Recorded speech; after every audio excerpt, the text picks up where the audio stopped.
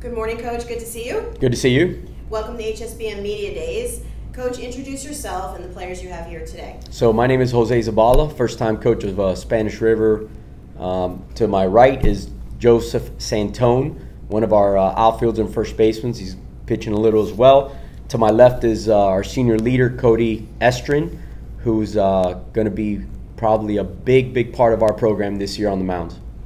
Excellent. So, Coach, you're new to the ball club. Tell us a little bit about your, your history with baseball. So I'm a former baseball player. Um, I've been living it my entire life. You know, some people say you play for the fun of it. I play for the grind. I love um, the smell of the dew in the morning. I just love being in the baseball field. But more importantly, I love being part of something. And being part of something with these kids is that much special, right? We try to raise them to be great baseball players, and the reality is we're trying to raise great men. And being a part of that in their lives, it's what's special about it for me, and I really appreciate the opportunity to do such a thing. Excellent. And coach, your son Roman is on the team. What's that like to have a Uh, chance to well, I got to tell you, that's a little difficult, and these guys can speak a little bit differently, but he does get a little bit um, harder than the others, um, I would say. Uh, but it is challenging, right? Separating that that father coach relationship to making sure you're doing what's right for the team, um, and that's the biggest important part. And at the end of the day, if you perform and you bring value to the team, you're going to play. So I'm excited because I get to be with him um, as opposed to not be with him when I'm on a baseball field. So I do appreciate that part about it, and he's going to have to do his part to uh, to help this team win. Excellent. And talk to us about the roster. What does that look like? Well, I'm gonna, you know, we're gonna find out. Um, I got a great bunch of kids. I'll definitely say that. Um, I've got good senior leadership. Uh, there's a good chance that uh, five of the pitchers, um, you know, four of them are going to start, uh, all seniors. So, from who's on the bump, everyone knows dictates a lot of the game. I'm fortunate enough to have good leaders on the mound that are gonna that are gonna take control of the game. They're phenomenal leaders, and I think we're gonna be successful because of that. And then on the other side of that, we've got a very we've got about five or six sophomores I think that are also going to be involved in a lot of the playing time. So there's a big gap between the seniors and the sophomores.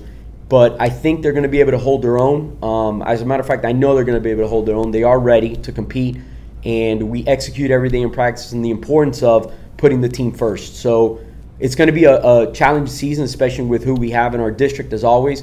But just just phenomenal baseball around in South Florida, and we're really excited about it. Coach Z, uh, all coaches know how important chemistry is to providing a winning season. Can you say a few words about the Sharks and team chemistry in terms of uh, the depth of the roster and the experienced guys and the rookies? And No, I, I, absolutely. Um, without chemistry, you don't have anything. You can have all the talent in the world, and how they play together as a unit is super important, right? So, so we we definitely in practice we put it themselves in a situation not only to see, hey, how are you going to react physically to the game of the baseball or what happens in the situation, but are you going to pick up your teammate when that teammate needs to be picked up? You know, you're going to put your head up, hey, pick the next guy up. So we actually practice that in practice, right? Um, but the truth is, these kids are so well developed, and they're just they have they come from great families that it's instilled in them, you know. So the chemistry's never been an issue, you know, at Spanish River just because of the culture, and they really, really do a great job of picking each other up. So I'm excited about that part. Now we just got to find out if they can play baseball, you know, and then the rest will take care of itself. But a good bunch of kids we got.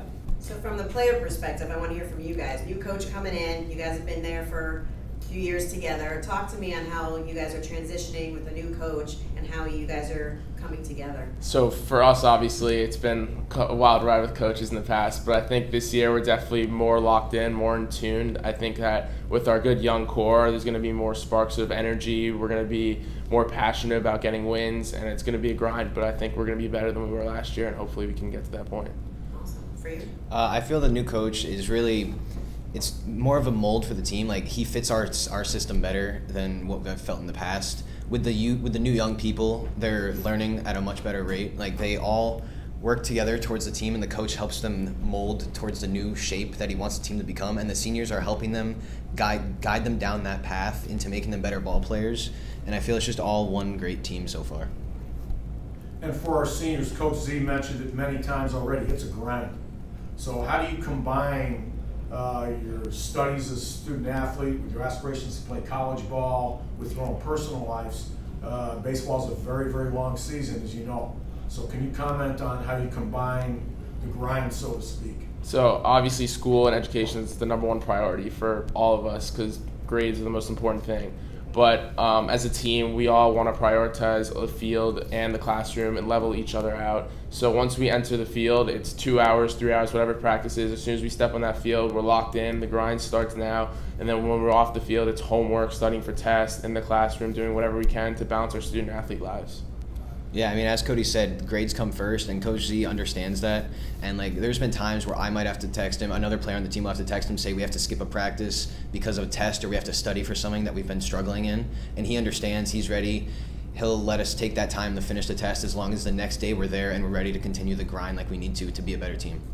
Yeah, that's a that's a great question because you know one of our principles we set forth is you, we talk about being a student athlete, right? So student athlete, student being the first part of that statement, right? Athlete being the second. So they go hand in hand, and I I definitely put a lot of emphasis on that. Um, I tell the kids, you know, time is your number one resource, right? You you you really can't buy any more of it, but when you spend it, you really can't get it back.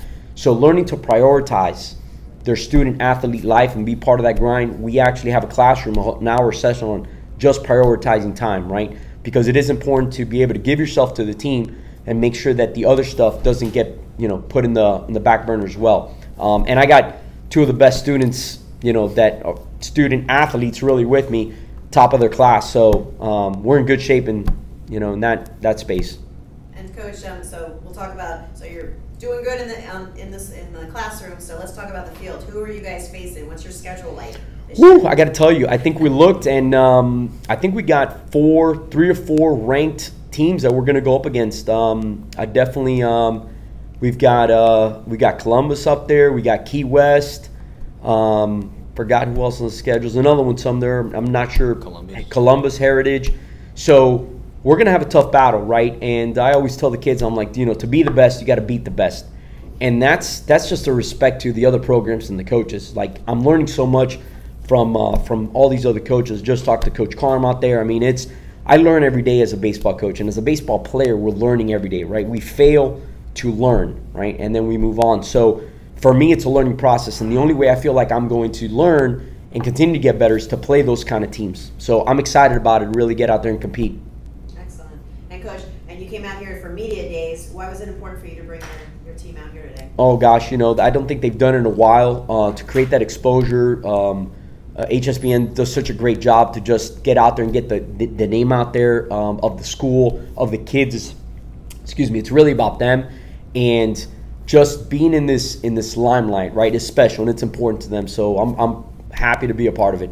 Excellent. So, coach, sum it up. What can we expect from Spanish River this year? Woo! Flip a coin, 50-50 at this point. I can tell you this: um, you're going to get a team that competes. You're going to get a team that plays small ball. You're going to team get a team that does the right things um, and hopefully execute when the time is right. Um, and everyone here knows that at any given day, anyone can win a baseball game. So it's it's how you compete, it's how you go forth, and I'm excited about it. So appreciate it. Excellent. Well, the best of luck to your team, and um, thanks for being here today. And we'll see you on the field. I can't wait. Thank you.